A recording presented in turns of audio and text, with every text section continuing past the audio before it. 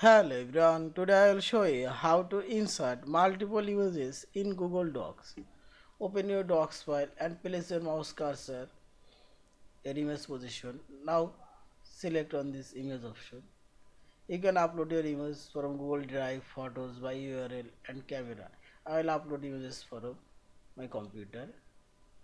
My image and select press Ctrl and select mouse I'll insert these three images.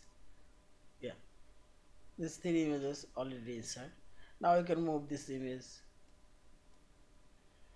and decrease the image size.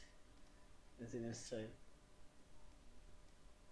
Also I'll cut this image and paste here.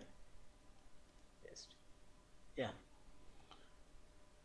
Thank you for watching. Please subscribe like share and comments